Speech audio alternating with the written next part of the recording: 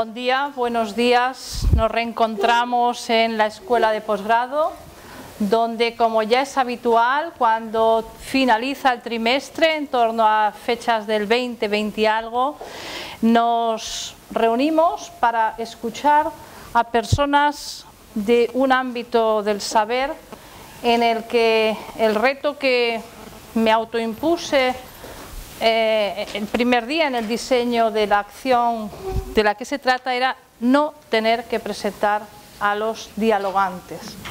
Por lo tanto, porque lo interesante es que tengan ya su currículum propio y les conozcamos, se sigue cumpliendo y que hablen ellos y no yo que ya no tiene ningún interés. Eso sí, agradeceros como siempre en nombre de las personas que trabajamos en la escuela de posgrado, eh, el que hayáis venido en fechas complicadas por múltiples motivos a este acto estrictamente de carácter estrictamente académico, donde se va a tratar por ellos y luego en el coloquio posterior de cuestiones académicas ceñidas a la temática que van a exponer.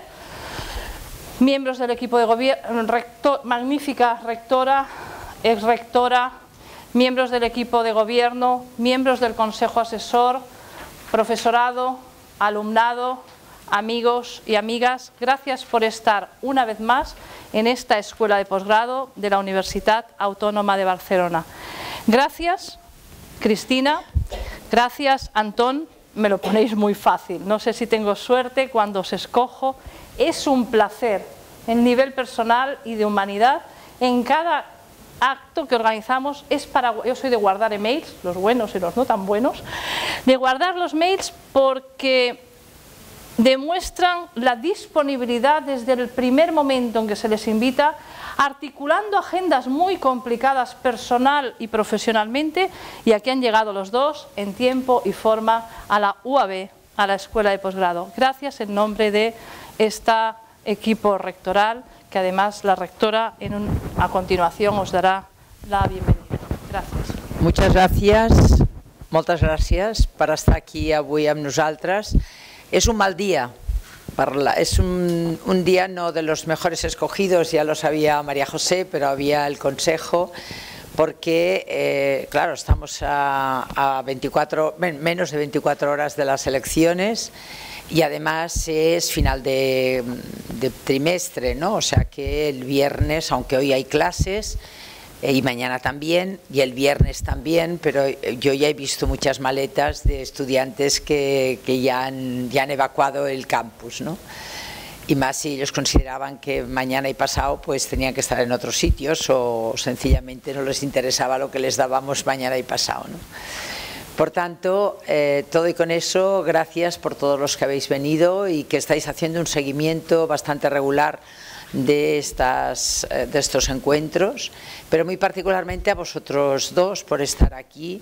Vuestra experiencia mm, yo creo que permite que hoy seguramente las cosas que nos digáis pueden ser eh, de gran interés eh, seguramente también muchas pues muy ligadas a la actualidad política porque la estáis siguiendo día a día eh, desde el punto de vista económico y desde el punto de vista de una dirigente de partido y por tanto yo entiendo que mm, vuestras agendas hoy particularmente eh, no son fáciles, sobre todo para Cristina, que realmente ha estado estos días aquí en Cataluña más de un día. ¿no? Y por tanto eh, deciros que estoy encantada de que estéis aquí y que estoy convencida que una vez más las cosas que nos diréis en, esta, en los días de los diálogos van a ser útiles para nuestra reflexión y sobre todo para eh, construir una universidad mejor y una universidad puntera que en estos momentos no es fácil de mantenerla, ¿eh? no es fácil de mantenerla porque es muy adversa la situación y muy particularmente la situación económica para nosotros. Eh, yo estos días no me he cansado de protestar porque el financiamiento que nos llega público es no llega al 50, o sea, es aproximadamente el 50% de lo que la universidad ah, tiene como financiación. O sea, que quiere decir que el otro 50% nuestros investigadores, nuestros profesionales lo consiguen de forma competitiva y a veces no competitiva con empresas de otras partes. Eh, esta financiación ha disminuido muchísimo desde el 2012 esta universidad contaba con 350 y pico millones, actualmente cuenta con 300 millones de financiación, o sea que la bajada es muy importante y más aún teniendo en cuenta que las eh, tasas de los estudiantes han aumentado 60 y pico por ciento. O sea, somos, como sabéis muy bien, eh, las universidades catalanas las que más altas tenemos las tasas, en comparación con el resto de las distintas comunidades del Estado español. Eso quiere decir que nuestros estudiantes han pasado de pagar un 13-14% de los costes de los estudios al 25% en Cataluña. Y gracias a eso no tenemos unos presupuestos que si no fuera por eso, es, nuestros presupuestos ya no serían 300, sino que nuestros presupuestos serían 275. Entonces, quiero deciros que la situación es muy complicada y estamos tirando para adelante y profesores y personal de la Administración y Servicios están ahí dando el callo para tener un nivel de calidad en los mejores rankings, pero eso es un precio que estamos pagando muy caro. Por tanto, eh, esta universidad que, hace este esfuerzo, me encanta que hayáis aceptado estar aquí con nosotros y por tanto vuestras ideas y vuestras eh, informaciones que nos podáis dar hoy estoy convencida que nos servirán para continuar aguantando el tirón y haciendo posible que como universidad pública seamos una universidad que demos respuesta a la sociedad a sus necesidades. Muchas gracias. Si os parece, tomo los primeros diez minutos para después dejar paso. Eh, habíamos escogido como título Economía y Ecología, e intentando además que eso se tradujera en algunas reflexiones sobre cuatro grandes ámbitos, la tierra, el agua, el fuego la tierra, el agua, el fuego y me falta uno, y el aire, y el aire que son obviamente los grandes ámbitos en los que se desarrolla cualquier actividad humana y cualquier actividad, por tanto, también económica. Me permito hacer una pequeñísima introducción. Yo soy economista y di clases en la Universidad de Sevilla durante algunos años, clases de economía internacional, allá por finales de los 70 y fue allí donde de una manera casi casual empecé a interesarme por la relación entre la economía y la ecología, eh, sin que esto formara parte de mi tarea obligada por la asignatura que daba más bien por lecturas que en ese momento hice. Recordemos que finales de los años 70 se habían ya producido los primeros informes del Club de Roma sobre los límites eh, del crecimiento y comenzaba también a nivel internacional, eh, bajo la égida de Naciones Unidas, a hablarse de desarrollo sostenible y a aparecer algunas cuestiones en, eh, en la escena mundial que generaban una preocupación sobre los impactos de la actividad humana. Eh, economía y ecología tienen eh, el mismo origen semántico, oikos. La palabra oikos de economía y de ecología significa que eh, la ecología es la ciencia que estudia la casa, el oikos, el entorno, y economía es la ciencia que se ocupa de cómo se gestiona el oikos, de cómo se gestiona la casa. Es evidente, por lo tanto, que mal se puede gestionar algo que no se conoce. Y sin embargo, la economía ha discurrido a lo largo de toda su historia, tomando en muy escasa consideración las eh, relaciones que existen entre todas las partes de la casa común, entre eh, la tierra, el aire, el agua, el suelo, y la actividad de los seres humanos. Eh, como mucho, en algún momento se ha hablado eh, de eh, los costes que se producen por parte de la actividad económica cuando se afecta, por ejemplo, a través de la contaminación a los procesos productivos y eso tiene efectivamente asociado determinados costes. Pero a medida que la comunidad científica nos ha ido aportando nueva información, hemos podido asistir a un nuevo enfoque de eh, la visión económica que tiene mucho que ver con eh, la realidad ecológica que no hemos tenido en cuenta y a lo largo de los años eso se ha traducido en que organismos tan económicos como la OCDE, donde fui eh, embajadora representante de España ante esa organización, hayan dedicado cada vez más espacio a analizar el coste económico de la inacción en materia, por ejemplo, de cambio climático. Y en todo caso a preocuparse de las consecuencias económicas de no tener en cuenta los desafíos ambientales. Un economista, Nicolás Stern, que fue vicepresidente del Banco Mundial y asesor del gobierno británico, el año 2006 eh, publicó un primer informe sobre el coste económico del cambio climático que marcó un antes y un después a la hora de incorporar a la economía la visión eh, de los desafíos ecológicos. Y en fecha más reciente, eh, los economistas hemos tenido también la oportunidad eh, de aprovecharnos del trabajo de un grupo multidisciplinar de la Universidad de Estocolmo, bajo el paraguas de lo que se llama el Centro Internacional de Resiliencia de Estocolmo, que tiene al frente al profesor Rockstrom y donde trabajan juntos economistas, biólogos y especialistas en muchas ciencias sociales y naturales.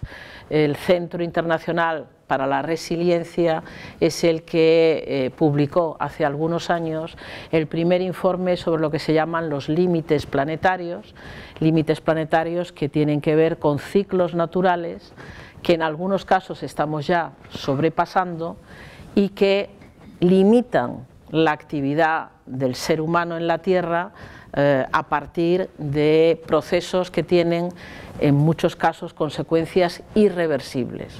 Por ejemplo, el cambio climático ha pasado ya eh, esos límites planetarios, de manera que por mucho que hagamos, el calentamiento global no lo podremos detener, si acaso podremos evitar que vaya más allá de un determinado aumento de la temperatura, pero hemos pasado el límite que los científicos nos indican que genera determinados cambios, cambios en la biosfera, cambios en cuanto a la evolución de los glaciares, a los propios fenómenos meteorológicos adversos, todo ello ya no tiene vuelta atrás.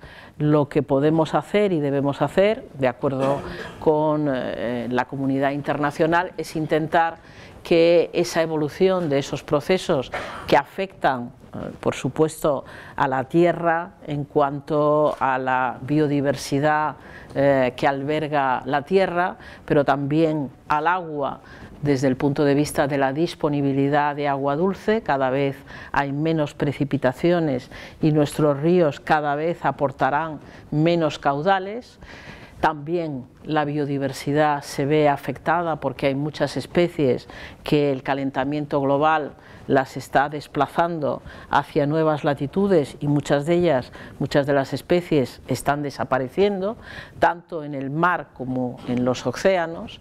Tenemos fenómenos meteorológicos adversos cada vez más graves porque efectivamente los huracanes, las inundaciones son más frecuentes y más intensos y eso conlleva daños económicos y sociales de una extraordinaria magnitud. Por tanto, hemos pasado ya algunos límites, también estamos superando límites en cuanto al ciclo del nitrógeno, por ejemplo, los fertilizantes que hemos venido usando están causando un eh, cambio irreversible en la calidad de los suelos y en la contaminación de las aguas subterráneas. Y todo eso, este grupo de profesores de la Universidad de Estocolmo, del Centro Internacional para la Resiliencia de Estocolmo, llevan varios años aportando su análisis para intentar que desde quienes toman decisiones en el ámbito de la política o en el ámbito de la economía sean conscientes de que esos límites a la postre generan un daño económico, un daño social. Y más recientemente, una economista ah, de Oxford, que se llama Kate Routhow, ha eh, elaborado una teoría sobre la economía del donut. La economía del donut, pensar en que el donut tiene una parte externa y un agujero que fija también eh, un círculo interno, la parte externa del donut serían esos límites planetarios, esos límites biofísicos que no deberíamos seguir superando, pero en la parte interna, el círculo interno sería el suelo de necesidades sociales que toda economía debería en estos momentos de tener en cuenta. Y ahí es donde aparecen los objetivos que antes eran objetivos del milenio en el horizonte 2015 y ahora es la Agenda 2030 de Naciones Unidas donde se establece la necesidad de garantizar alimentos, de garantizar agua, garantizar educación, sanidad, igualdad a escala internacional en el horizonte del 2030. Luego, hoy es difícil que los responsables de las políticas económicas no eh, tengan suficientemente en cuenta límites ecológicos y límites sociales que si se desconocen o se mantienen ajenos a la toma de decisiones, a lo que llevan es a un creciente malestar social y también a problemas cada vez más graves de salud, de salud pública. Eh, hoy ningún ciudadano, desde luego en nuestro país, eh, deja de ser consciente que la contaminación del aire genera enfermedades, genera un número muy importante de muertes prematuras y genera enfermedades que afectan muy en particular a los niños. La contaminación del aire en nuestras ciudades está haciendo que aumenten de manera exponencial las patologías que afectan a los más pequeños, sobre todo patologías de tipo respiratorio, pero también alergias y afecciones de la piel, de los ojos, todo ello ligado al hecho de que hemos venido contaminando, en este caso el aire, sin que eso eh, haya llevado a un cambio de paradigma para reducir el impacto de esa contaminación sobre nuestra sociedad.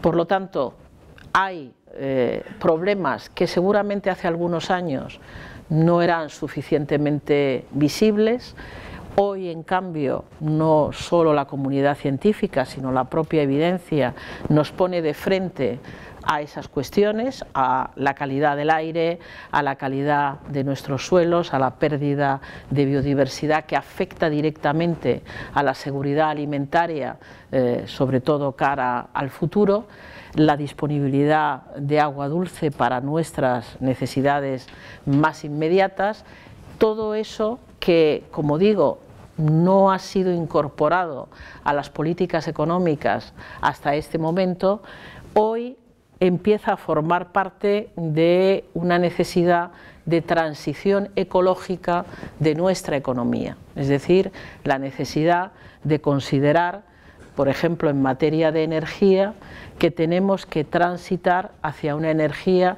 que sea baja en carbono, que aproveche al máximo las energías menos contaminantes, que reduzca el consumo de energía mediante una mayor eficiencia y que eso nos lleve a equilibrar en la medida de lo posible la actividad económica con los impactos que precisamente el modelo energético está generando en clave de cambio climático. Quería hacer esta primera reflexión, por situar primero mi propia experiencia.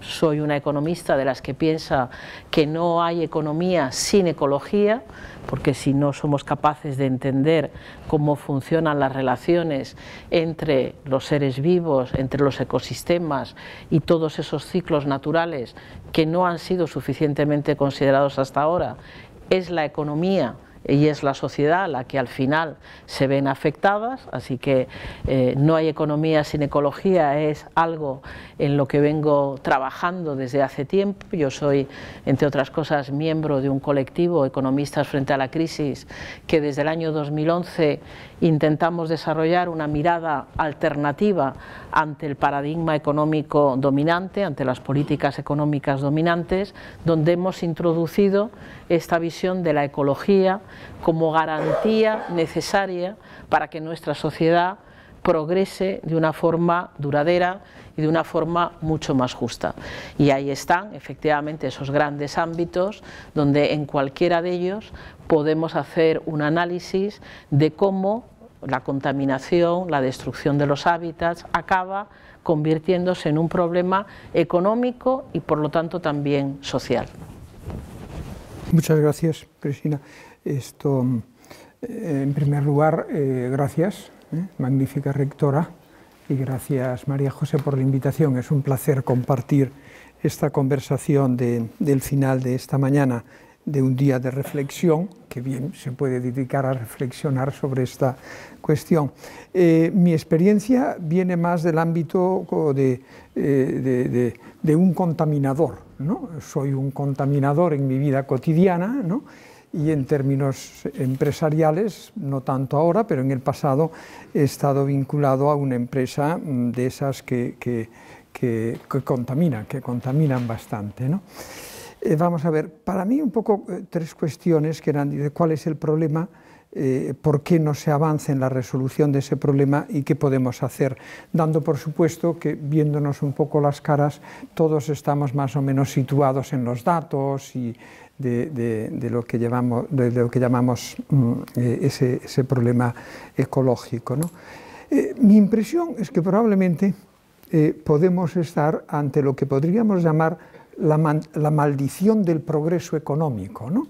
Es decir, esa, esa terrible contradicción, si fuese así, o dilema, en el que el crecimiento económico, que en principio eh, es deseable porque mejora nuestras condiciones de vida, al menos las condiciones materiales de vida, sin embargo trae asociada como una especie de dios jano, ¿no? trae una asociada una cara perversa.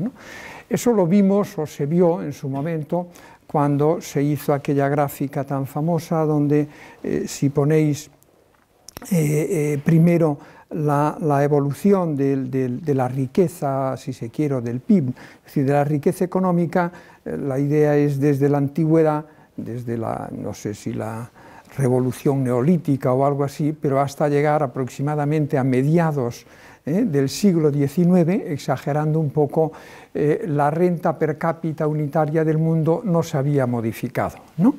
Y sin embargo, al llegar a, mediados del siglo XIX, de pronto esa renta per cápita, especialmente se entiende en los países desarrollados, eh, comienza a dispararse, reflejando ese progreso, ese progreso económico, ese progreso material. Pero claro, cuando más tarde comenzó la preocupación medioambiental y se colocó sobre esa gráfica, se colocó la gráfica de, como se le quiera llamar, de contaminación en sentido general, de afectación al medio ambiente, resulta que vimos que esa gráfica seguía exactamente el mismo perfil que la del progreso económico.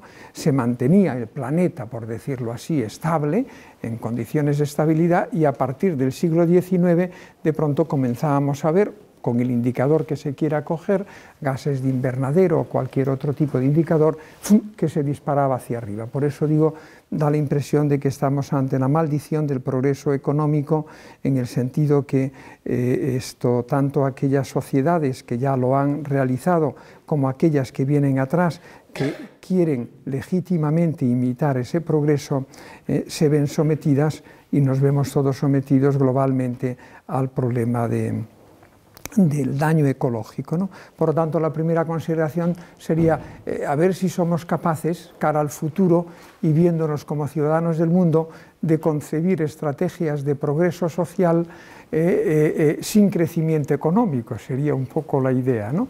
una cuestión difícil. ¿no?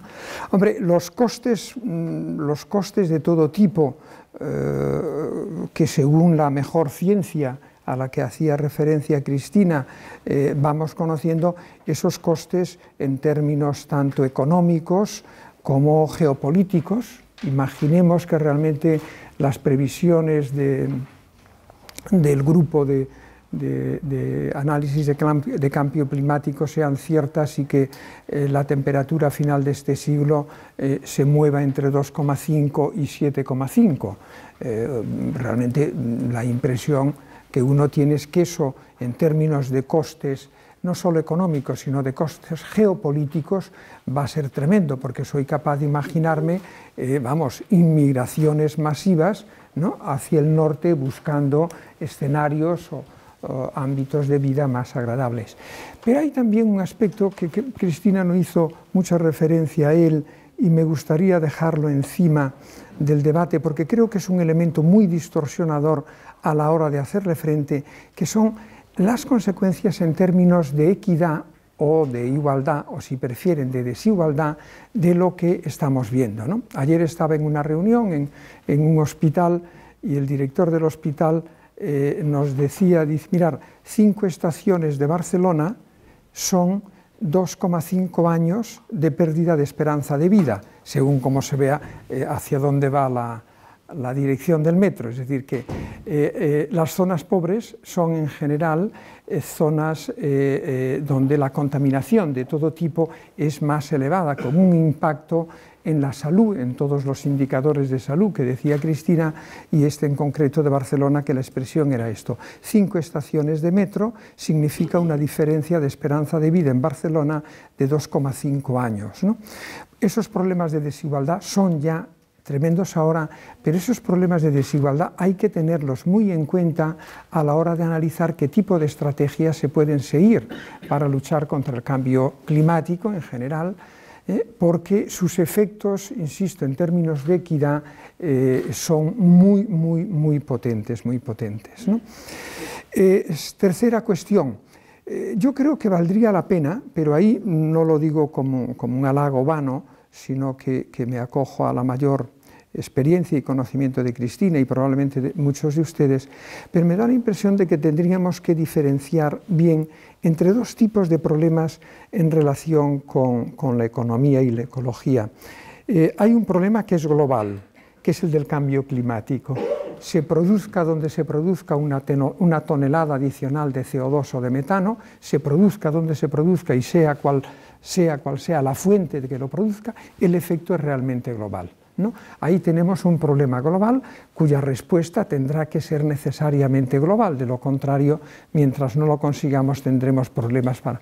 Pero después hay problemas probablemente más de tipo, de tipo eh, más local, problemas eh, eh, de contaminación convencional de tipo más local. Yo en la empresa en la que estuve, esos problemas los tuvimos muchos y que vienen, el ejemplo que les pongo es el problema de, de la producción local de, NO2, no tanto del CO2, sino del NO2 y del SO2, que dan lugar a la lluvia ácida. Este no es un problema global, es decir, si produzco lluvia ácida eh, yo que sé, en la garrocha el efecto es más local, no, es que eh, los, de otros países vayan a tener ese impacto. Esta distinción entre el problema global, que yo creo que es el del cambio climático, que afecta pues, a esas cuatro, ¿eh? decía Cristina, que decía Cristina, y los problemas locales, ¿no? de contaminación local, y creo que hay que tenerlos en cuenta porque la respuesta creo que va, que va a ser distinta.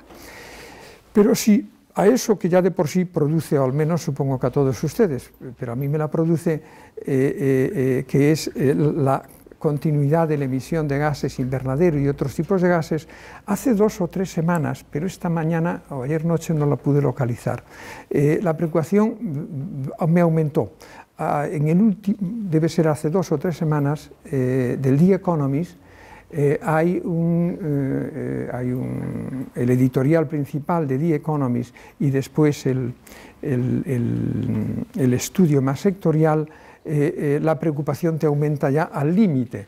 Porque el título, yo creo que era del título del, del, del editorial, era lo que no nos cuentan, lo que no nos cuentan acerca del cambio climático, ¿no? y aquello que miras eso y dice, vamos a ver qué es lo que no nos cuentan, porque, y claro, lo que dice The Economist que no nos cuentan del cambio climático es lo siguiente, es decir, que no es suficiente, que ya no es suficiente que dejemos de emitir más CO2 y otro tipo de gases, ¿no? insisto, el metano a la atmósfera. Dice, ya no es suficiente, porque si no somos capaces de retirar ¿no? ¿Eh? del planeta, si no somos capaces de retirar del planeta una parte muy importante de los gases que ya están emitidos, dice, es imposible esa esperanza de mantener las temperaturas eh, eh, como máximo en un 2 o acercándose al 2%, que por cierto es el mismo objetivo de inflación que tiene el Banco Europeo y que tiene la misma expresión, ¿no? cercano pero por debajo del 2%, dice el objetivo del Banco Central Europeo sobre la inflación, y he visto que ahora se formula de la misma manera, cercano pero por debajo de un aumento del 2%. Bueno, la tesis de The Economist, para el que esté interesado, leyéndolo la impresión de consistente, es que el problema ya no es dejar de emitir, el problema es que tenemos que retirar ¿eh? esto CO2 de la, de la, atmósfera. Y dice, y esto ya es complicado. ¿no? Yo recuerdo eh, hace años, insisto de nuevo, eh, cuando estaba vinculado al sector, que sí que se estaban, no sé cómo están hoy, pero se estaban desarrollando tecnologías en nuestra propia empresa de captación, de captura, que se dice, del CO2 que ya está en la atmósfera, pero no sé cómo estará eso. Bueno, por lo tanto, mi conclusión aquí es, hay un imperativo ecológico, aunque eh, se cuestiona. Y yo les aseguro que en, el medio, en medios empresariales en los que me muevo, personas que en principio le atribuyes formación, ilustración y responsabilidad, te cuestionan que el cambio climático sea una realidad y especialmente que sea una realidad atribuida a las actividades humanas, es decir, a las actividades esto, antrópicas. ¿no? Y son gente muy que, al menos aparentemente para mí son, respetables. Y si a esto añadimos la posición de la nueva administración norteamericana, creo que el escenario es un escenario, a mi juicio, complicado. Eh, segundo, ¿por qué no se avanza?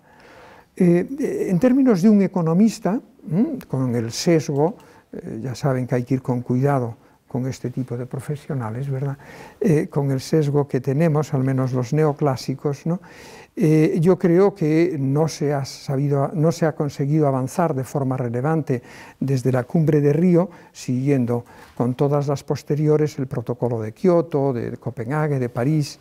Yo creo que, en primer lugar, porque el problema del cambio climático, entendido a nivel global, insisto ahora, es un problema típico en teoría económica del free rider, ¿no? del, gorrón. ¿no? del gorrón. ¿En qué sentido? Que es un problema donde los esfuerzos que tienes que hacer son locales, y tienes que pagar tú todos los costes de hacer eso, y sin embargo los beneficios son globales. ¿no? Claro, eh, en problemas de este tipo saben que todos tenemos la tentación ¿no? de beneficiarnos del beneficio global, pero intentar evitar el asumir nosotros el coste que nos correspondería. Y este es un problema yo creo que serio, ¿no? bien analizado eh, en términos de, modelización, de análisis teórico, pero también en términos reales, ¿no? porque viene a ser algo así como eh, que le digan a ustedes, dice, mire, para resolver esto del cambio climático, usted tiene que ahorrar 100 euros, ¿vale? 100 euros, pero más adelante eh, le devolveremos solo un euro. Dice, hombre, un momento, pues casi prefiero gastarme ahora los 100 euros a la Bartola y lo que venga después, ya lo arreglaremos todo. Es decir, hay en este sentido, es decir, si tú tienes que hacer ahora localmente un esfuerzo de 100, lo que, si eres el 1% de la población mundial, lo que te va a revertir a ti de beneficio es un 1%. Y claro, este tipo de problemas son endiablados ¿no? y hay que afrontarlos bien. Yo mi tesis como economista es que desde, desde, desde Río, especialmente en Kioto, este problema no se abordó bien. Y esto es en parte una de las explicaciones para mí de por qué no se ha avanzado hasta ahora. En segundo lugar, y muy vinculado a eso, porque se ha optado por estrategias de acuerdos voluntarios entre países. Y a mi juicio, para problemas de esta naturaleza, los acuerdos voluntarios eh, no te funcionan, porque siempre todos los países o todos los individuos al final tenemos motivos esto, muy legítimos para escaparnos ¿eh? del acuerdo voluntario, aunque lo hayamos firmado. Por lo tanto, acuerdos voluntarios los veo difíciles. Pero, mm, mm, sin embargo, también veo difícil que los gobiernos entren en, eh, como diríamos, no sé cómo llamarles, con, eh, tipo de contratos westfalianos, ¿no? del tratado, de tratados westfalianos, el tratado de, Westfalia, ¿no? Eh, de tratados donde hay elementos compulsivos en ese tratado que te obliguen a ti a tener que cumplir aquello que se ha pactado. ¿no? ¿Por qué creo que es difícil el empleo aquí de tratados de este tipo? Porque el coste político que significa para cualquier gobierno el entrar en una solución global, creo que lleva a los gobiernos a eludir eh, esa solución global para ir a través de soluciones muy parciales, eh, pero muy poco, muy poco eficaces. Eh, y el término eficacia me lleva finalmente en este punto a la idea que yo no sé si se las transmito solo de esta manera, yo creo que las soluciones globales no son válidas en el sentido de no funcionarán si no tienen en cuenta la eficacia económica del acuerdo. Y en este sentido, para mí, eh, el imperativo ecológico, es decir, el resolver este problema, solo se podrá abordar eh, con garantía de cierto éxito si se respeta el imperativo económico y ahora hablo de qué, entiendo el imperativo económico, pero la idea es esta, creo que hay un imperativo ecológico, decía, ¿eh? Eh, en, sostener el planeta en unas condiciones que sean eh, asequibles, ¿no? Pero no creo que ese imperativo ecológico pueda afrontarse bien sin abordar el problema de lo que llamo imperativo económico. Y descuenten aquí ustedes el sesgo de economista en este sentido, lo descuentan ustedes. Acabo. Eh, ¿Qué podemos hacer, a mi juicio? Eh, tiene que ser un enfoque global, el del cambio climático, tiene que ser un enfoque global. Y creo que no es posible abordarlo sin eh, introducir mecanismos de precios ¿eh? para resolver este problema global. De aquí el sesgo de economista. El mecanismo de precio puede venir por la vía de una tasa, de una tasa sobre eh, todas las actividades contaminantes, pero una tasa que tiene que ser universal y a mi juicio la misma para todo el mundo, para pobres y ricos. Y esto plantea un problema de equidad, que no lo obvio. Pero mi idea es, eh, hay que meter un mecanismo de precios. Y ese mecanismo de precios puede ser una, tasa, una tasa sobre eh, toda tonelada adicional de CO2 que se emita a la atmósfera. Y para que funcione, a mi juicio, insisto, tiene que ser una tasa única, universal, tanto para los diferentes tipos de fuentes de contaminación, al margen de cual sea, como hasta para las vacas, por el metano, quiero decir. ya existe, pero única, universal, europea. europea. Eh, y, en segundo lugar, eh, insisto, tiene que ser una tasa de tipo universal independientemente de la fuente de la fuente que produzca la contaminación, el efecto gas invernadero, e independientemente de los niveles de riqueza de cada, de cada, de cada uno de los países. Y esto plantea, a mi juicio, un problema de equidad tremendo de cómo en un tratado internacional sobre cambio climático que contenga cláusulas que sean exigibles, ¿eh? que creo que son fundamentales, cómo sin embargo eres capaz de llevar adelante este tipo de tratado afrontando los problemas de equidad que son endiablados. Yo, si me permiten, lo dejo aquí y, las respuestas las espero de Cristina y de todos ustedes, porque yo no las tengo. Eh, habíamos empezado insistiendo por mi parte que no hay economía sin ecología y escuchando a Antón, eh, el mensaje es no hay ecología sin economía, porque efectivamente se busca una herramienta económica concretamente los precios o las tasas, para garantizar la ecología.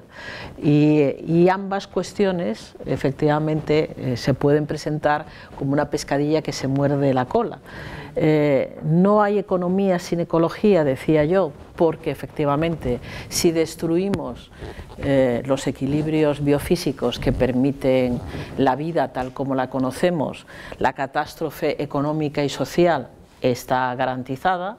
De hecho, podemos decir hoy que somos la primera generación a nivel mundial que sabemos ya que hay cuestiones ecológicas de extraordinaria gravedad que están afectando eh, la vida humana en términos de salud, en términos de equidad, en términos de expectativas de progreso y seguramente somos la última generación que puede evitar que lleguemos al colapso social y ecológico.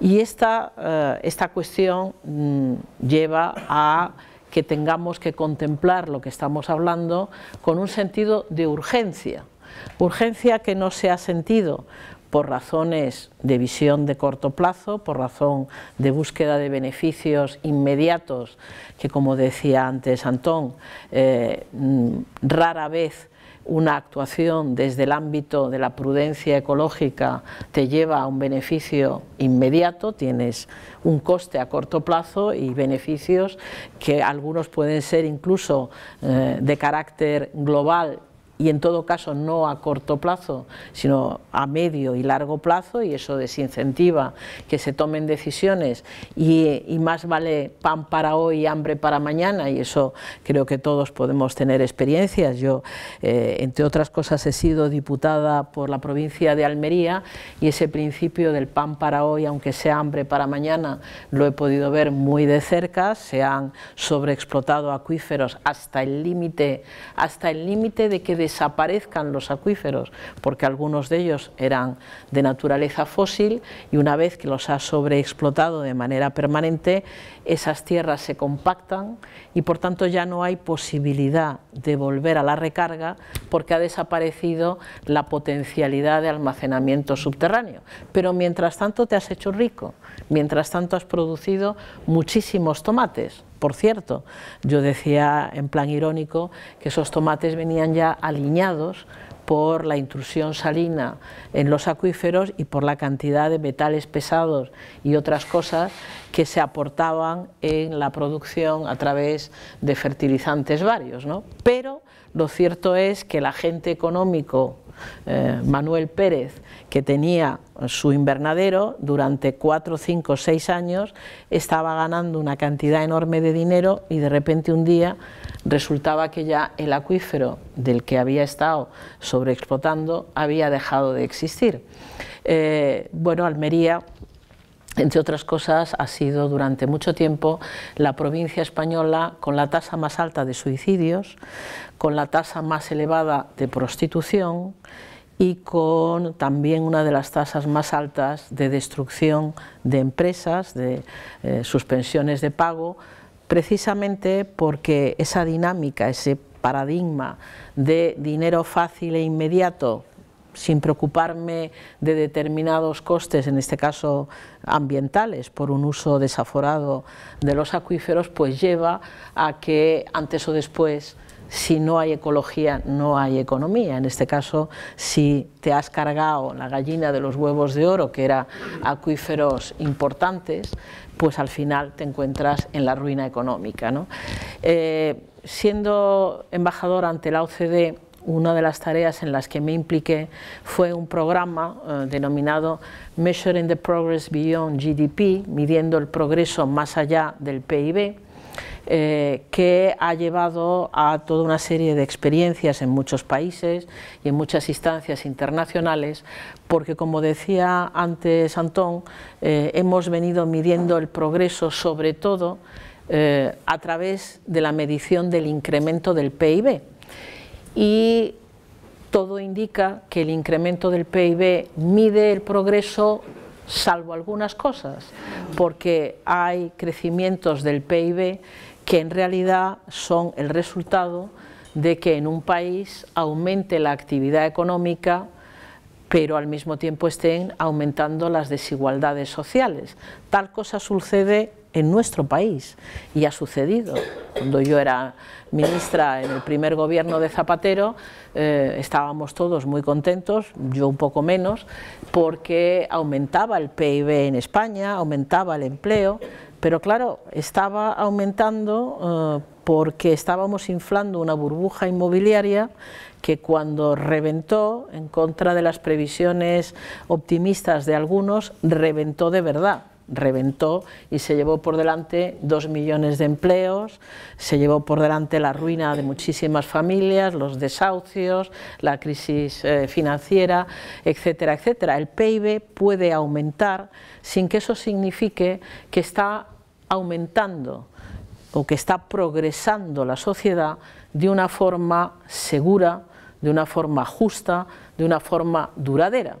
Y Antón ha hecho mención antes a que los desafíos ambientales, ecológicos, tienen una dimensión ética muy notable. Y efectivamente, los países que menos han contribuido al cambio climático, pensemos por ejemplo los países del África subsahariana o las pequeñas islas del Pacífico, resultan ser hoy los más afectados por el cambio climático producido mayoritariamente por el modelo energético y por el modelo alimentario de los países más ricos. Sin embargo, las consecuencias más dramáticas las tenemos en las pequeñas islas eh, del Pacífico, algunas de las cuales ya están eh, procediendo al desalojo de sus territorios hacia tierra más firme y más estables por la subida del nivel del mar, o lo que Antón también anunciaba y ya de hecho se está produciendo, que son las migraciones masivas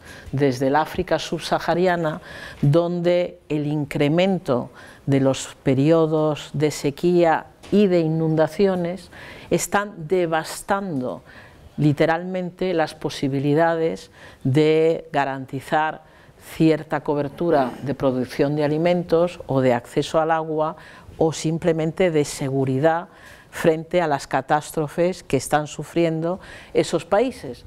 Países que para colmo mm, carecen de instituciones públicas que eh, permitan mitigar al menos la gravedad de esos fenómenos. Cuando nosotros eh, desde los países más desarrollados tenemos episodios de huracanes, de inundaciones, de sequías, unos más y otros menos, pero somos países donde hay instituciones que preservan el bien común, que garantizan una cierta seguridad a sus ciudadanos, pero miremos hacia el África subsahariana o hacia los países del Caribe o, del Pacífico, son países donde golpean las catástrofes que llamamos naturales y que están generadas sin ningún género de duda, de acuerdo con la inmensa mayoría de la comunidad científica, por el modelo energético y, como ahora me detendré un minuto, por el modelo alimentario.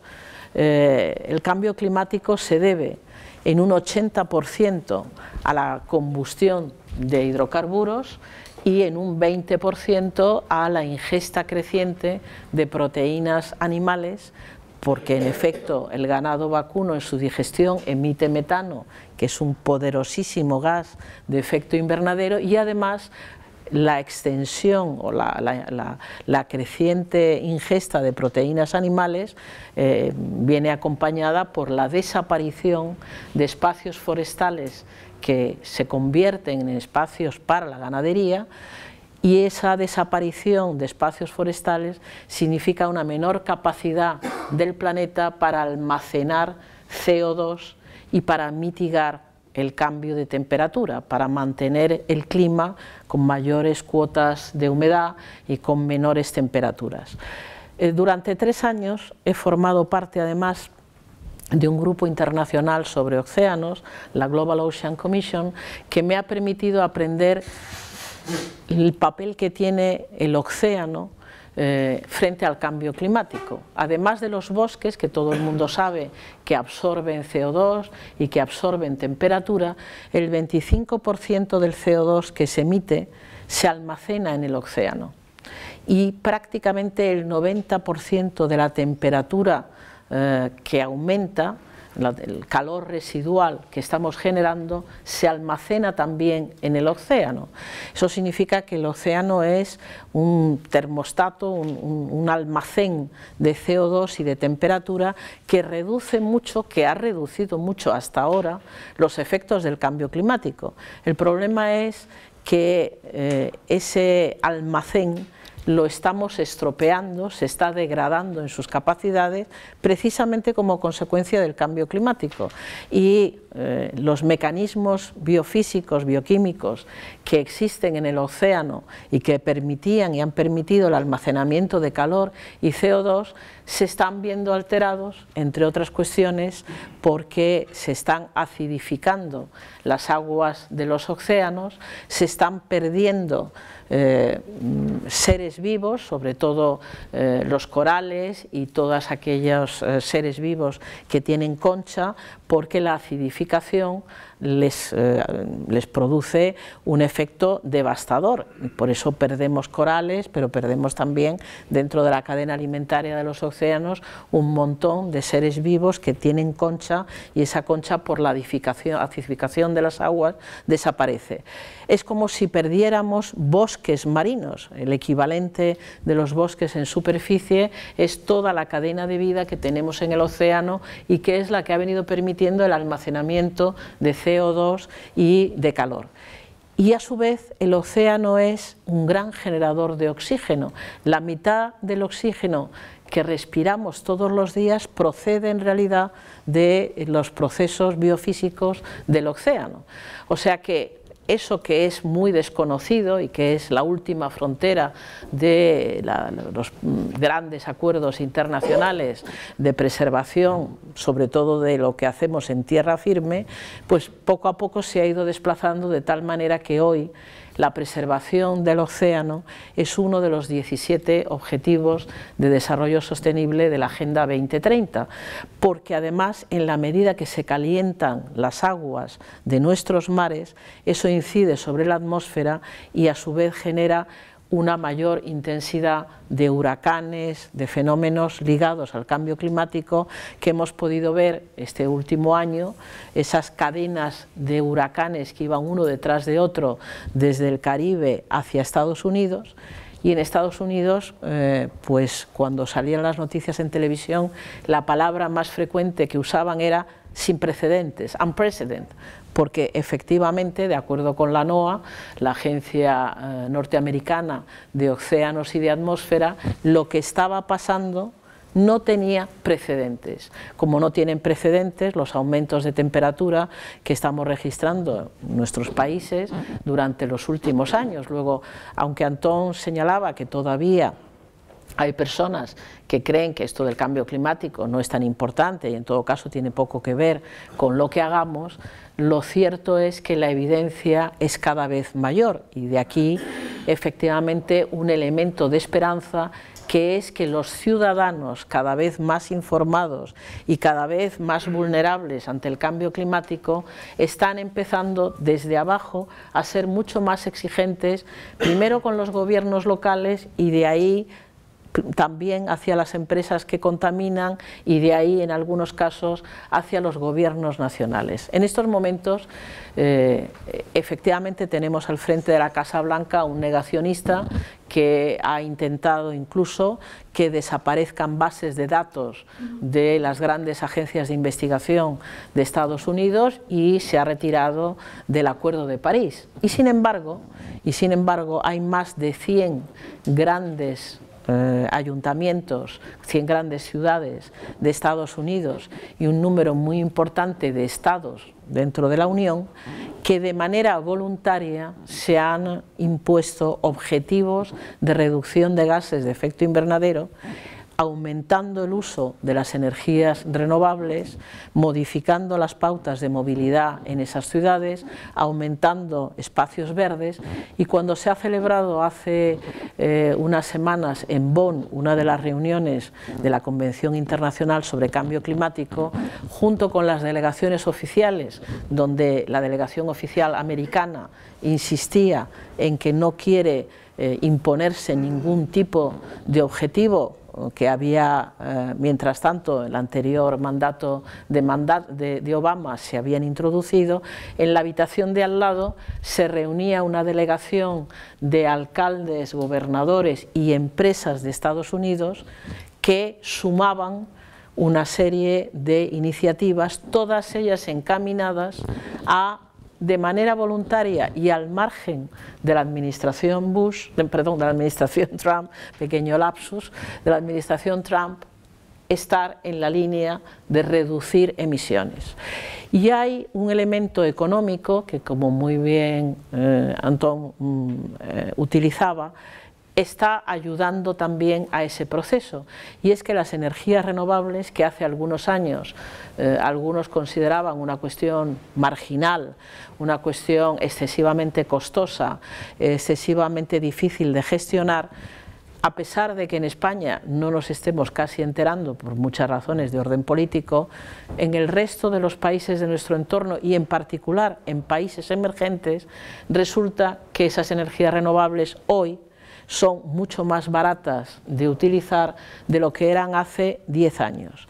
Las placas fotovoltaicas han reducido su coste en un 80% en apenas 10 años y además van aumentando las posibilidades técnicas reales de almacenar energía renovable, que por su naturaleza es intermitente, la energía del sol o la energía del viento, de manera que cada vez más hay países que están apostando seriamente por transitar hacia, una, eh, un modelo energético basado en energías renovables.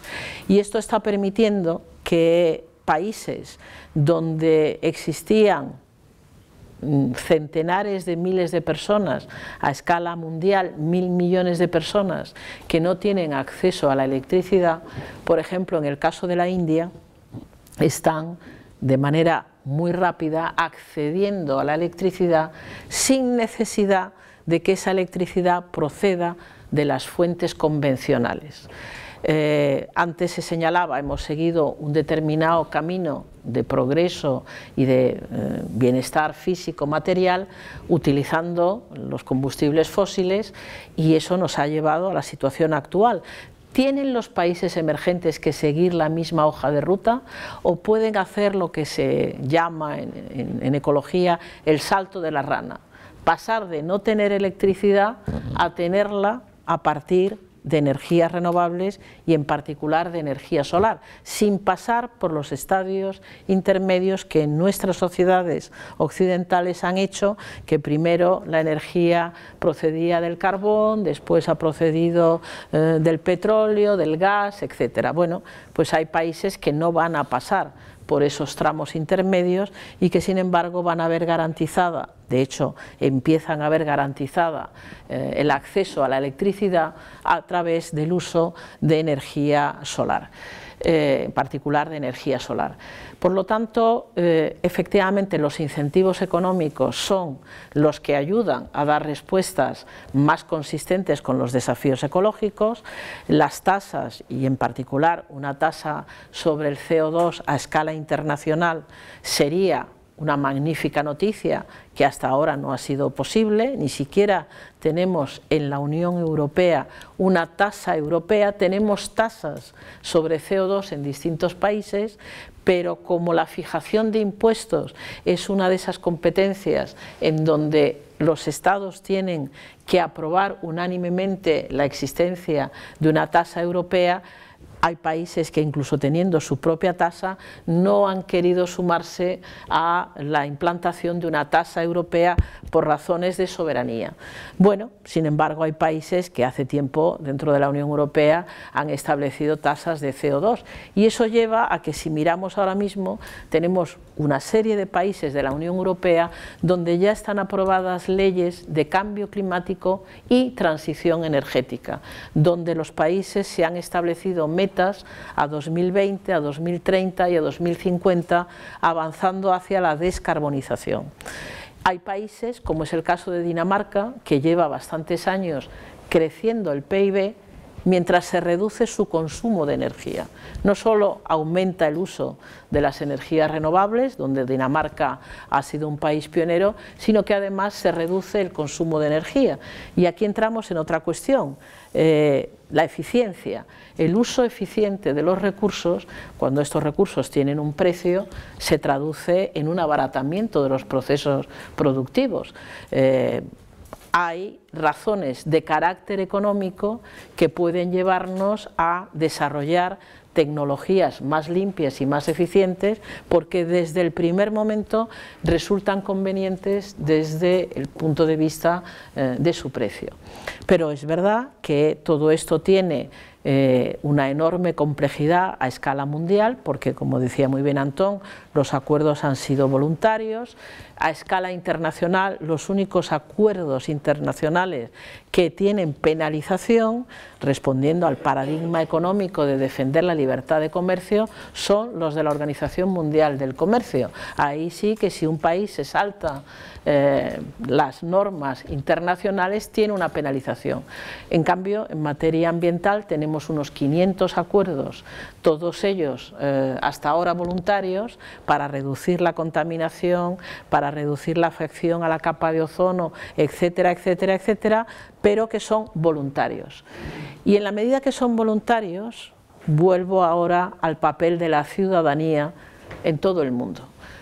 Hoy no estamos ya, como hace 20 años, eh, con una serie de élites informadas y una ciudadanía masivamente desconocedora de los problemas asociados a la contaminación, al cambio climático. Hoy los ciudadanos de todo el mundo gracias a las tecnologías de la información y de la comunicación, saben lo que está pasando en el resto del mundo y lo que les puede pasar a ellos.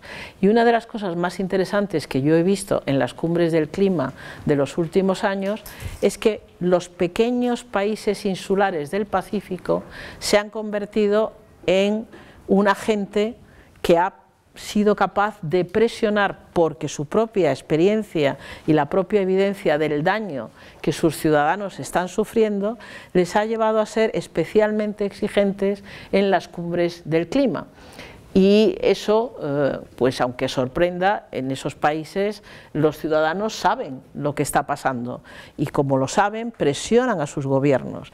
Y esto, esa presión hacia los gobiernos o esa presión hacia las empresas, seguramente seguirá aumentando en los próximos años, más allá de que haya gobiernos que consideren que estos son temas marginales o como en el caso de España hemos retrocedido de una forma injustificada ante el avance y ante el progreso de las energías renovables. España, con el doble de horas de sol que Alemania, tiene 10 veces menos energía solar instalada que Alemania.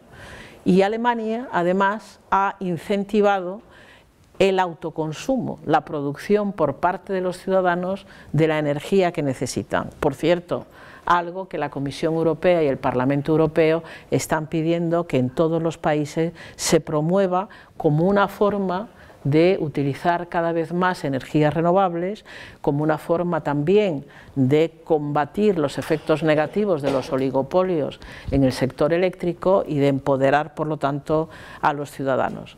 Así que Efectivamente, el progreso no lo podemos medir solo por el PIB, porque el PIB mide lo que mide, pero no puede medir eh, el progreso con mayúscula de una sociedad.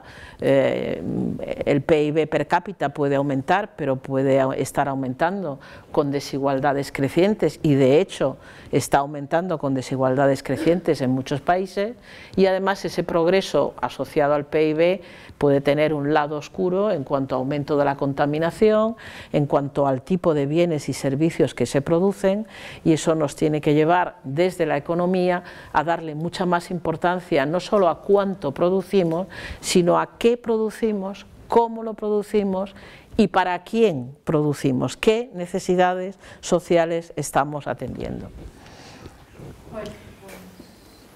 Son las 2 y 25 o damos lugar a la conversación o si entro yo me puedo ya llevar por delante eh, el tiempo. En todo caso, solo eh, recordadles una, recordadles una cosa, si creemos que hay un, si creemos que hay un imperativo ecológico, algo que, que se nos impone de forma urgente, eh, uno puede pensar en dos tipos de medidas. ¿no? Las medidas paliativas, que consistirían en no emitir más y además volver a, recuperar lo que ya sea parte de lo que se ha emitido, y medidas adaptativas. Solo dos flashes. Vayan con mucho cuidado en la vida, mirándoles la cara, ya tienen experiencia. Vayan con mucho cuidado con políticas adaptativas que sean de tipo dirigista, donde eh, haya alguien que determine qué tipo de tecnologías hay que premiar frente a otras. Porque miren, eh, ese tipo de políticas llevan detrás una, una redistribución de renta espectacular en nuestros países.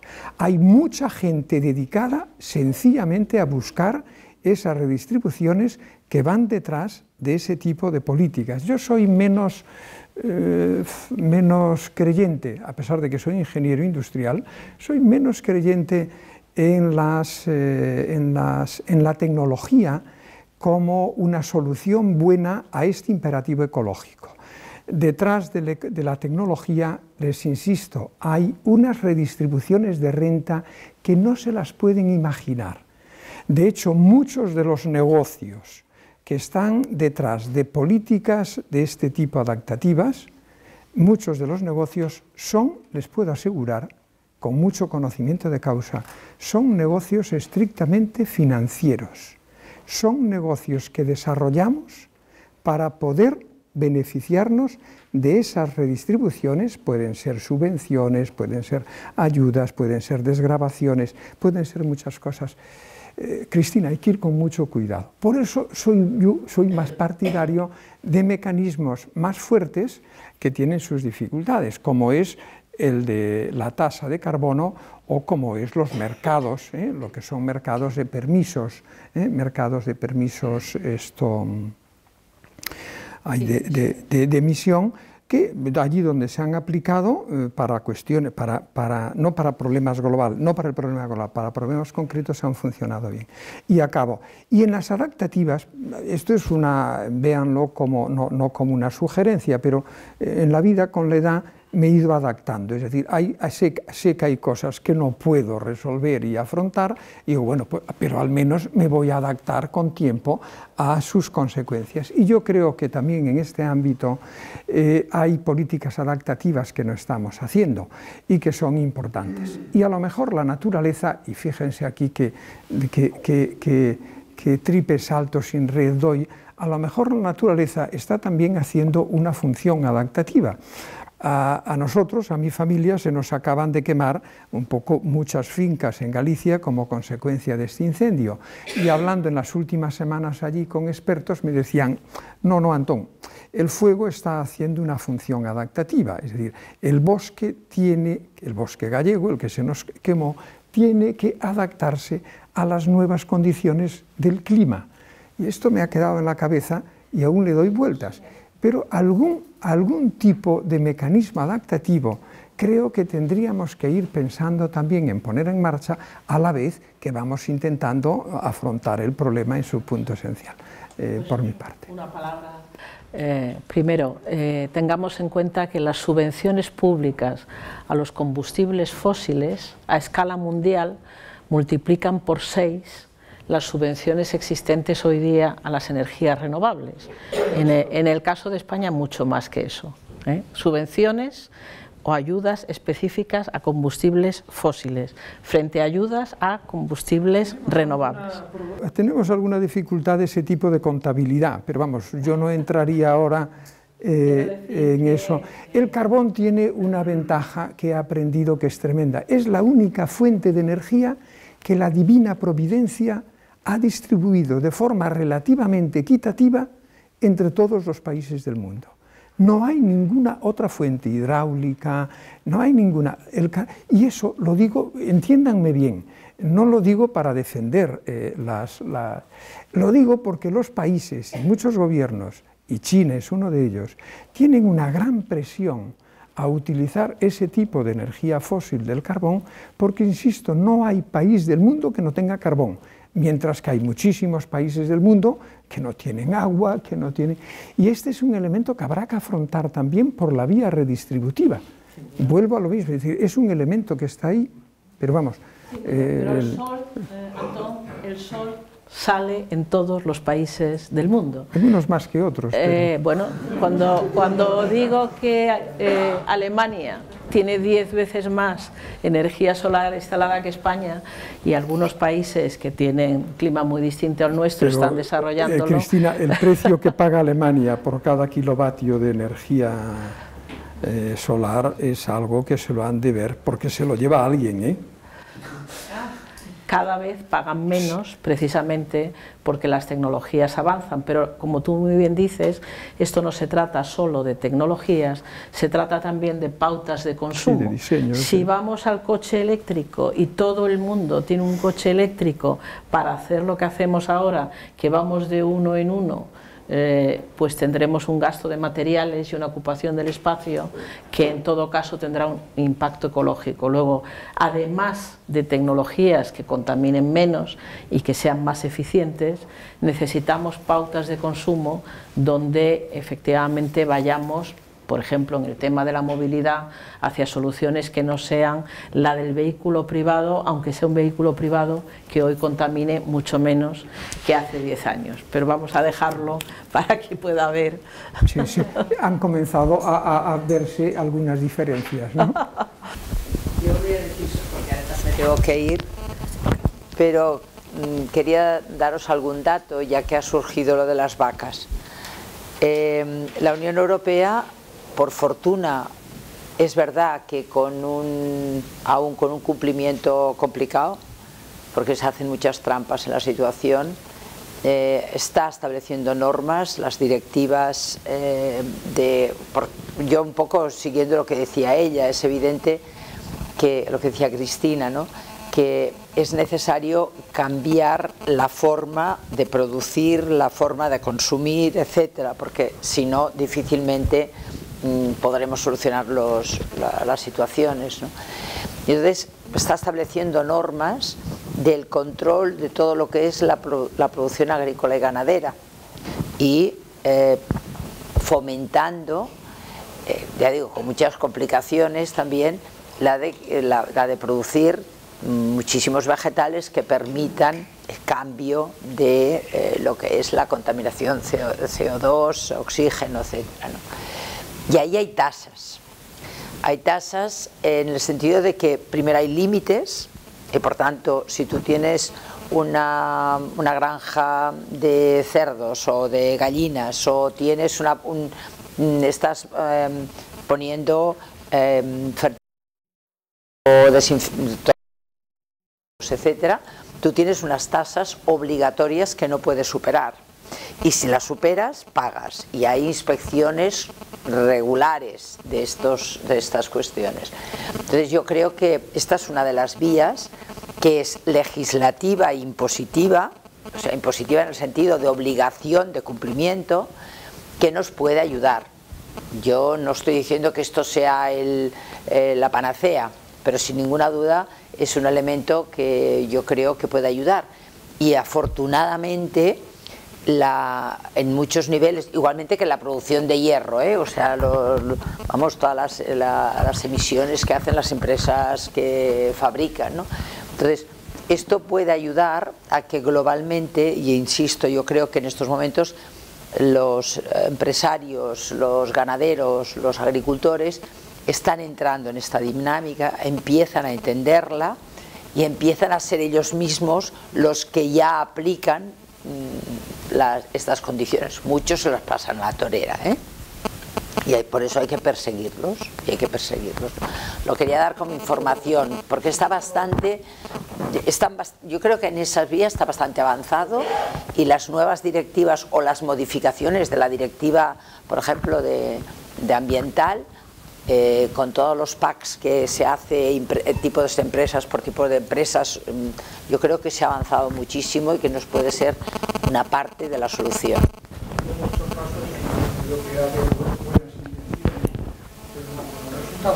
Pero déjame decir que caso. solo es, no cuestiono, ¿eh? solo para insistir, si el problema global, si el problema de las vacas, el de las vacas holandesas, es solo un problema de los holandeses, pues se resuelvan con mecanismos muy globales. Pero si es global, las medidas que va a hacer el propio nombre tienen eh, un efecto que es lo que llamamos la fuga del carbono, la huida del carbono. Si tú me encareces a la vaca holandesa, yo ya estoy comprando terrenos en Uruguay y en Argentina que me permiten transformar en ese sentido las vacas, producir allí. Que el problema, si es global, la idea es, si un problema es global, hay que afrontar el riesgo de que el mecanismo no facilite lo que No, no, perdona, yo a lo mejor no lo he explicado bien. No es tanto imponer la tasa, sino imponer niveles. Entonces, por ejemplo, tú puedes mejorar esas, esas emisiones clarísimamente con un cambio de dieta. Y esto está súper demostrado ya, y además lo saben y lo están haciendo. Por tanto, saben que tienen que reducir proteínas, por ejemplo, ¿vale? Y aumentar fibra. O sea, hay. Estás hablando de la dieta de los De los animales, caso, ¿no? No, no, no las no, las No, no, o sea, es que- no, lo, que- lo que decía no es que les pongan una casa porque la, vaca- la leche sea más cara o la vaca sea más cara de producir. Lo que se trata es de modificar el manejo de un Sí. campo agrícola Y la alimentación del ganado. La forma de distribuir, cómo se echa encima del campo el fertilizante y ha- hay un cambio de las tasas de emisiones fundamental.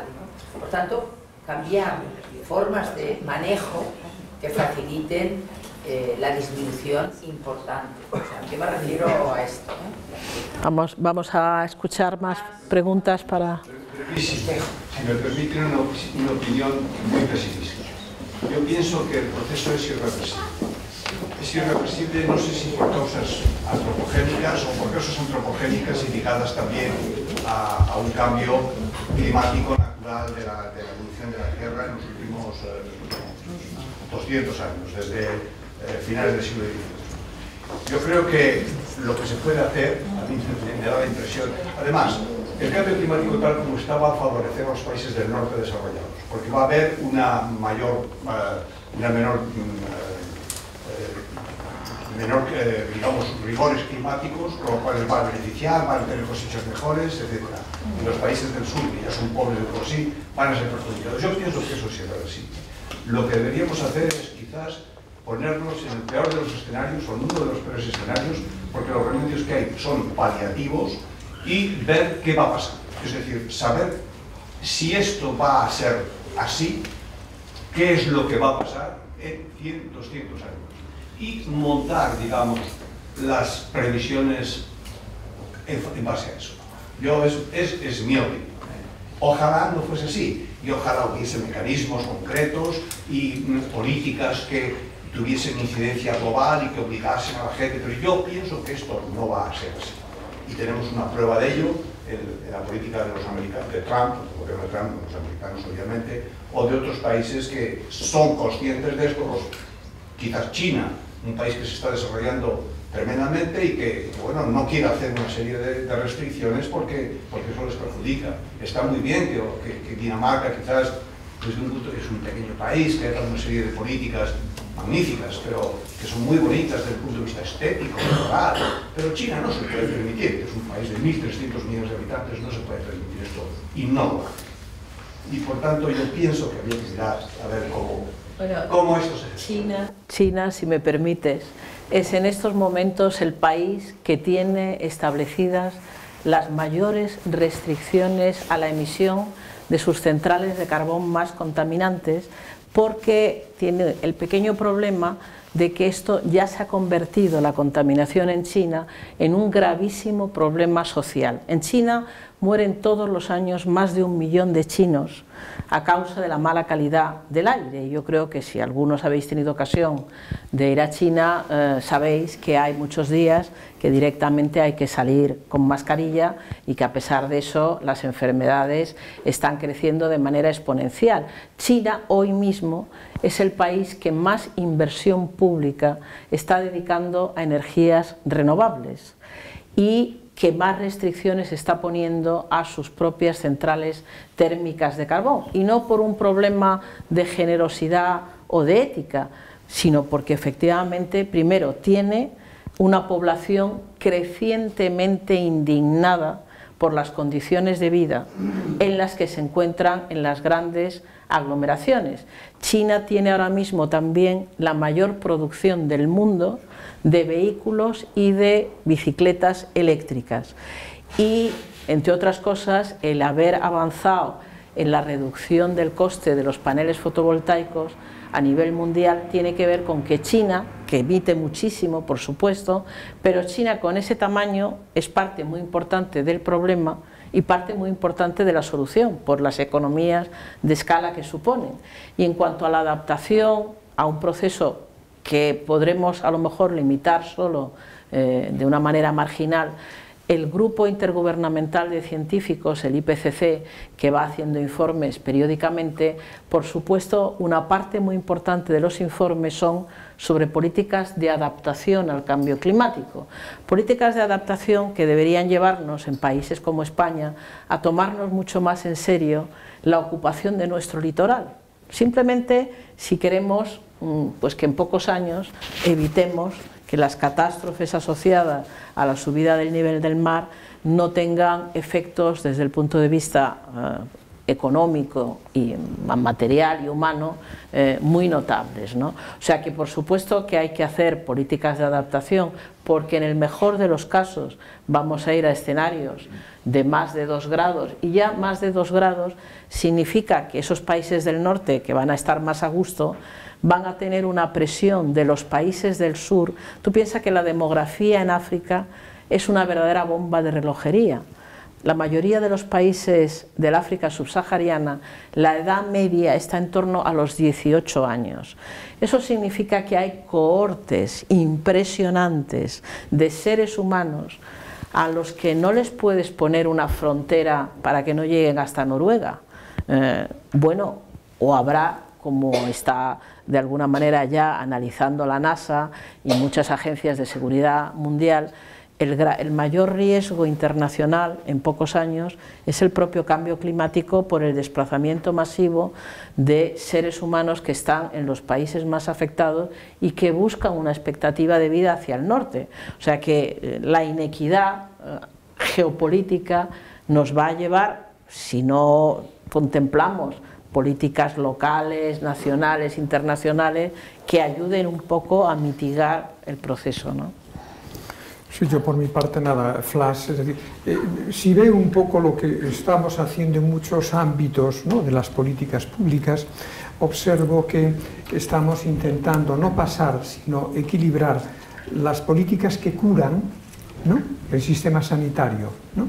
con las políticas que previenen, las preventivas. ¿Por qué motivo? Probablemente porque en la mayor parte de los problemas que teníamos hasta ahora era, eran problemas de una dimensión que a través del sistema sanitario, lo de sanitario ahora es global, podíamos curarlas. Ahora vemos que la magnitud de esos problemas ¿eh? no lo podemos dejar solo a la curación, porque no podríamos. Y de ahí que hoy pues, los especialistas en sistema sanitario te hablen de sistema sanitario por un lado y de sistema de salud por el otro. Como yo, yo creo que este esquema para pensar las cosas nos va bien también probablemente para otros, para otros muchos problemas, incluyendo este que, este que, que estamos abordando. Dado lo avanzado de la hora, sí, hay, que, hay que comer. alargarlo mucho más porque si no la agenda se complica extraordinariamente. Si acaso una única que habías pedido tú y el resto tiene que quedar para otra ocasión. Antonio ha comentado que las dificultades de los tratados internacionales. En el pasado tampoco las revoluciones tecnológicas se han conseguido a través de tratados internacionales, sino a través de la libertad económica y un poco el, conflicto que hay entre ese proceso de transición ¿no? también tiene que ver con las viejas inversiones en tecnología fósil que quieren recuperar ese rendimiento y las nuevas tecnologías que hacen que esas inversiones, digamos, caduquen antes. Entonces, un poco eh, también hay detrás el conflicto ¿no? entre las nuevas tecnologías, las viejas tecnologías, solo va también de repartir renta. Entonces, cómo conseguir, digamos, mirando igual más lejos, que las viejas se puedan adaptar, que las nuevas puedan colaborar y buscar un consenso y no, no el conflicto. Porque si no, luego al final China o otros países que no ven e, e, ese límite, ¿no? viven al día a día y pueden desarrollar tecnologías como quieran en ese conflicto, que es un poco lo que teníamos en los años 80. Las renovables no molestaban. En cambio aquí me parece como que entramos en un momento de choque de trenes y cómo conseguir que el sector convencional un poco, por ejemplo, eh, en los informes financieros, mirar esto es financiero, y buscar eh, dar una señal al sector convencional para que pueda, digamos, reciclarse hacia esas nuevas tecnologías. Un poco eso de, de París lo que establece, es decir, no es una cuestión de acuerdos internacionales, es una cuestión de actuación de abajo arriba, ¿no? Que, puedo, que, puedo, decir que les valga de forma general para todos. Miren, hay un viejo criterio en política económica que se estudiaba cuando yo estudiaba, ahora ya no lo explicamos, pero creo que es muy válido para la vida.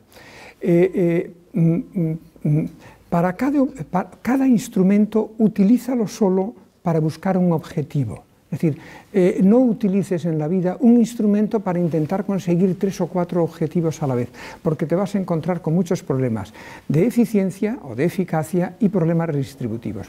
¿Cómo lo aplico aquí? Si tú tienes esa idea de que eh, en el juego las políticas dirigistas en relación con las tecnologías pueden generar eh, problemas distributivos, que los generan, doy fe, ¿no?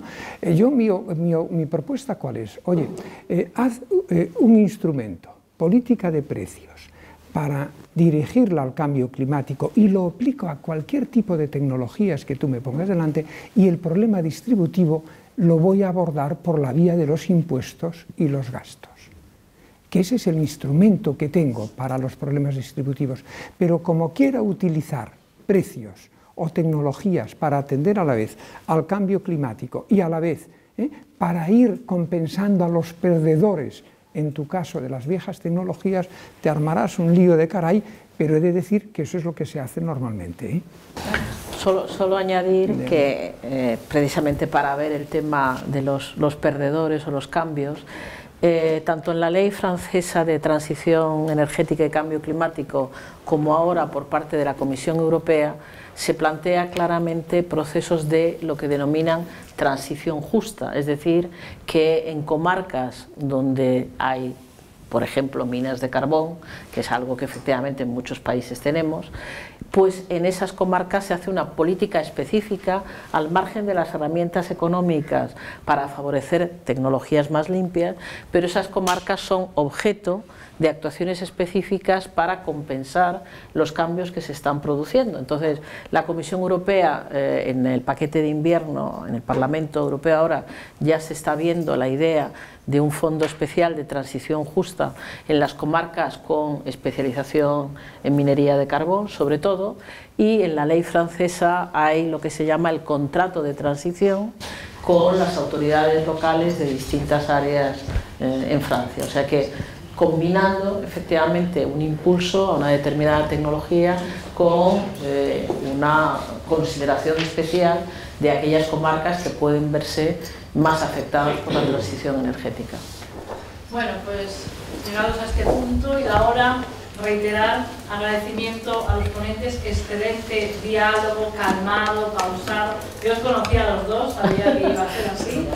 Y agradecer a todos los asistido esta sesión que hemos pretendido con ella cerrar el año 2017 y como ya es habitual, emplazaros al próximo diálogo 2018 que se desarrollará, bueno, la fecha ya la tenéis más o menos, será el 20 de marzo a la una en esta sala y tratará, se centrará en salud hoy.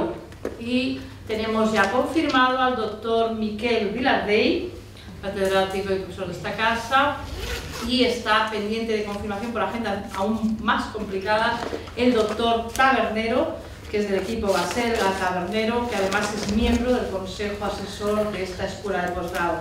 Hay ahí que cuadrar un poquito la agenda, por lo tanto tenemos ya un reto. 2018 nos veremos, si todo va bien, el día 20 de marzo a la una y veremos qué nos depara el tema de salud. Gracias a todos.